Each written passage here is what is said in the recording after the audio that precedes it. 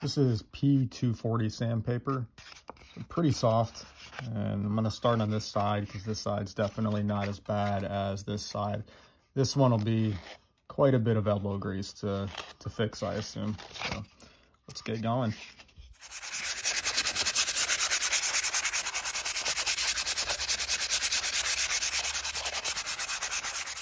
Just about done removing the original waterfall engraving. I've been sanding for about 15 minutes or so, and you can see the original engraving is almost invisible. So my plan today is to paint this undercoat on, let it dry, then paint the flat black coat on, engrave. Time to add the undercoat, and it says to apply two layers, but I'm rather impatient, so I'm just gonna do one layer and see how it goes. Was told to shake it. And let's see how hard it is to open this.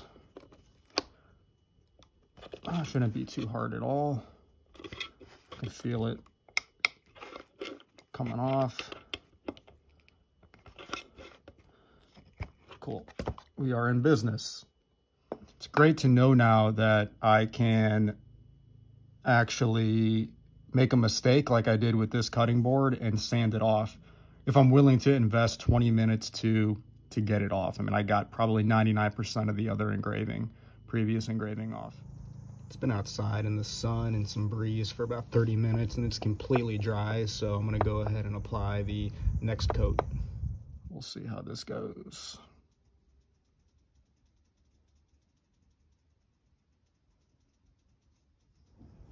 another 30 minutes and the paint is completely dry. Actually, the board is burning out here, so I think we're ready to try the laser.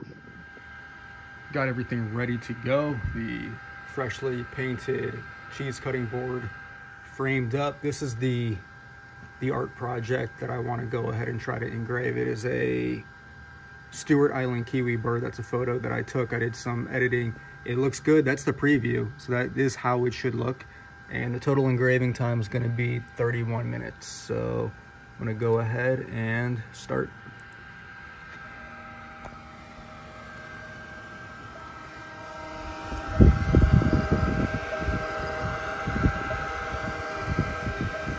The power and settings are going to look different from here on out because I'm officially transitioning to millimeter per minute, which is the recommended setting uh, by Lightburn.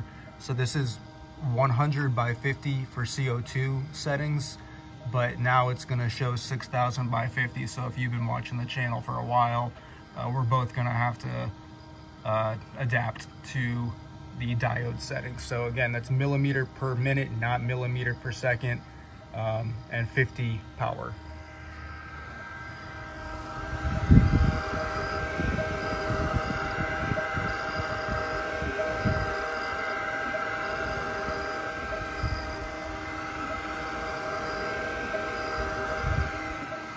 I'm not sure what's happening, but that does not look right. I don't think it's supposed to peel the paint off like this.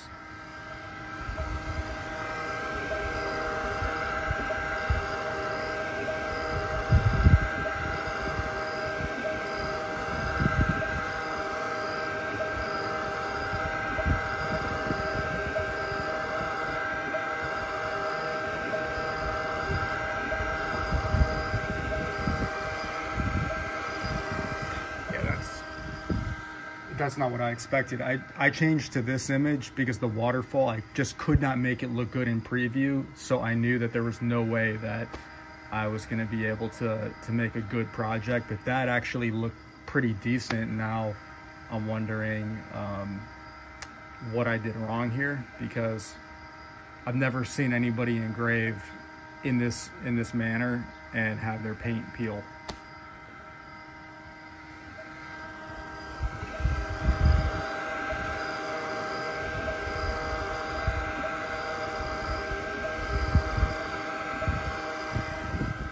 Bottom would be this area here and it just doesn't look, does not look correct.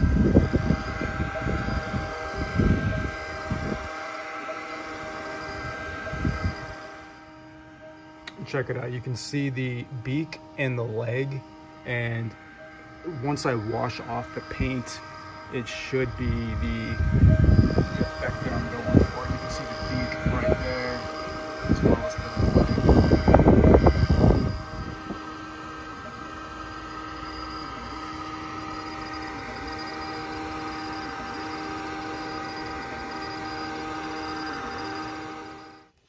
laser engraving is all done and now it's a matter of seeing what happens when I actually wipe off the paint. So I've got some uh, warm water and one of those reusable cloths. So this is the moment of truth.